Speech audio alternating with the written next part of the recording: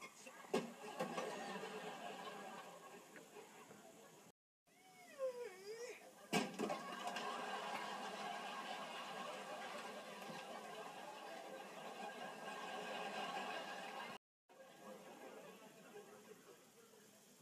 What's all the racket?